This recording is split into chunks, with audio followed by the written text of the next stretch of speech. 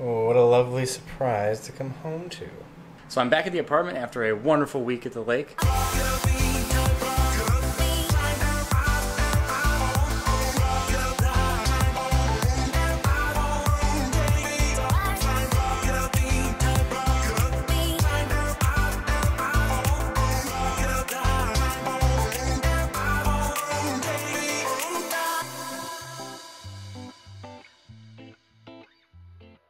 I got a little bit of post-vacation blues, but that's okay because I'm excited to get back into the swing of things. The rocketry team has been banging along on our summer project, which is a two-stage rocket. I'm about to head back to the garage and see what they've been up to, so I'm, uh, I'm really excited to see what kind of progress they've got going on.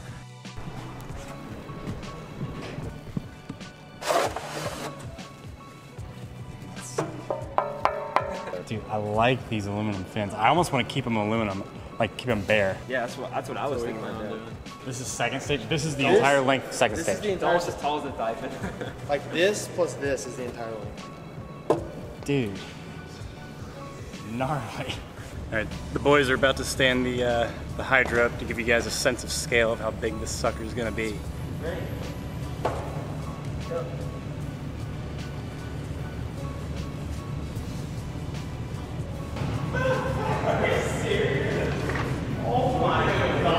Dude, it doesn't fit in the frame unless I'm all the way back here.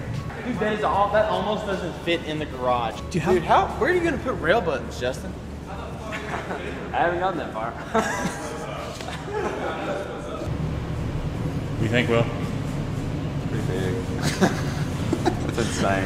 When you look at the sections, it's like each individual section doesn't feel big because you know what's going in each one. Yeah. And then when you look at it as a whole, you're like, that's insane. Like this is just the booster. This is the second stage booster. That's just the payload section. That's recovery and then those come. But like looking at it all, it's like what? the- So tall. The second stage is still bigger than a Predator.